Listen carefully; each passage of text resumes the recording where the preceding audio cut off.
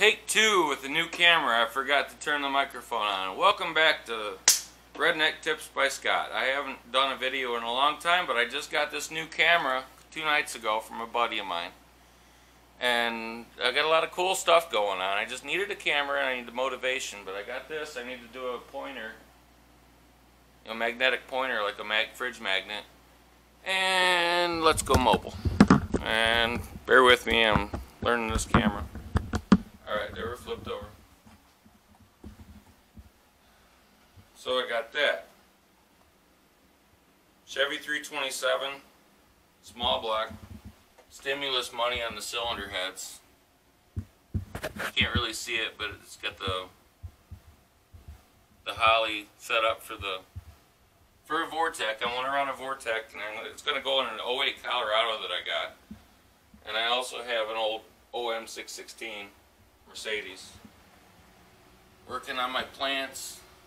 I got all kinds of tomatoes, cilantro, broccoli, cauliflower, the watermelon haven't popped. None of the hot or none of the regular peppers or the hot peppers have popped.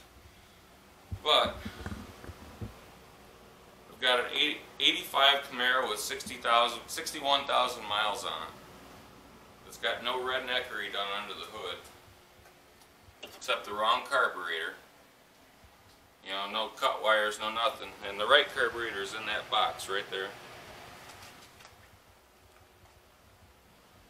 And I have to chemically strip it because my dad sprayed two different kinds of spray paint on it. But yeah, it's ready to go. I just got to strip it. And that's an old van seat in there if you ever wanted a cheap circle track seat in one of these if you got a junk one. But he wrecked his old van, and that's where the accessory drive came off of for that 327 sitting in the corner. Uh, got transmission out of his old van. It's a V6, so it'll probably have to be rebuilt. But then again, I have the the one out of the Colorado, which could, I could use, you know, get the bell housing off of it and then redo it, you know, with quality performance parts. But I got HP tuners as well, and I already have the credits purchased on this van, my dad's van. Carpenter van.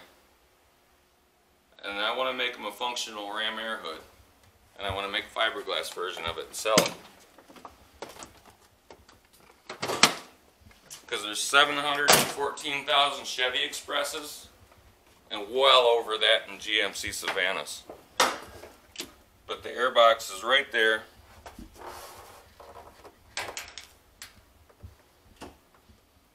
Yeah, functional, super easy.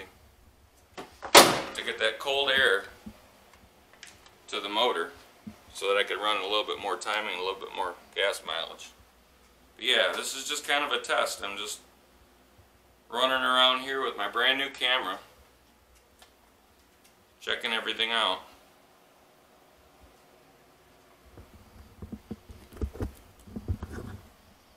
We go. Redneck Tips by Scott.